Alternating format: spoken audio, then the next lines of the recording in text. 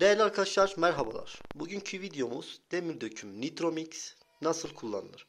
Arkadaşlar hemen şöyle kombiye baktığımız zaman eğer ki ekranda herhangi bir hata yani harf veya bir rakam yoksa arkadaşlar hemen şurada 2 amperlik sigortamız var. Sigortamızı açıyoruz. Görmüş olduğunuz gibi ekrana hemen voltaj ve elektrik geldi. Arkadaşlar en baştan başlamak gerekirse burada cihazı hemen görmüş olduğunuz gibi tüm dünya dilinde aynı işaret. Cihazı açıp kapatacağımız tuş. Değerli arkadaşlar hemen onun altında görmüş olduğunuz gibi mode tuşu var. Mode tuşuna bir defa bastığımız zaman hemen görmüş olduğunuz gibi burada petekler yanmaya başladı. Yani şu anda cihaz kış modunda petekler çalışır vaziyette. Değerli arkadaşlar peteklerin derecesini ayarlamak için hemen şurada bir görmüş olduğunuz gibi hem petek hem musluk tuşumuz var. Bir defa bastığımız zaman görmüş olduğunuz gibi şu anda petek yanıp sönüyor. Ve bu tuşla kaç derece istiyorsak şöyle bakın çevirdiğimiz zaman kaç derece istiyorsak dereceyi ona göre ayarlayabiliyoruz. Biz bunu 40 derece yaptık arkadaşlar. Aynı şekil kullanım suyu yani duşta kullandığımız suyu ayarlamak için yine bir defa bastık bunu arkadaşlar. Şöyle bastığımız zaman bakın hemen musluk yanıp sönmeye başladı.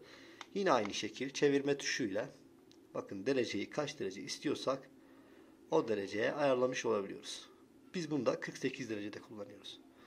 Değerli arkadaşlar onun dışında ekranda herhangi bir hata kodu görürsek eğer yani buradaki rakamlar dışında bir harfli bir kod var ise cihaz muhtemelen arızaya geçmiştir. O durumda hemen şurada görmüş olduğunuz gibi reset tuşuna bir defa basıp bıraktığımızda arıza ekrandan silinecektir. Eğer ki arızamız ekrandan silinmiyorsa bu durumda kombinin yetkili servisi veya özel servisten destek almanız gerekiyor. Değerli arkadaşlar bu kombide daha sonra anlatacağım şey hemen şurada görmüş olduğunuz gibi 1.5 bar yani cihazın su basıncı. Bu diğer kombiler gibi bazı e, kol saatine benzer bar göstergesi olmaz. Bunlar da dijitaldir arkadaşlar. Suyu devamlı olarak 1.5 maksimum 1.9 olmak şartıyla su basmanız gerekiyor. O işlemi de hemen kombinin altına eğildiğimiz zaman şöyle dolabı açtığımız zaman. Bakın arkadaşlar şurada hemen karanlık olduğu için siz göremiyorsunuz. Mavi bir musluk olur arkadaşlar.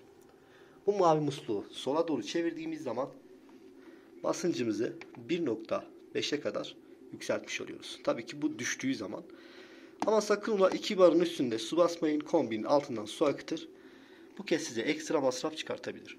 Değerli arkadaşlar bu videomda böyle olsun. Bir sonraki videoda görüşmek dileğiyle kendinize iyi bakın.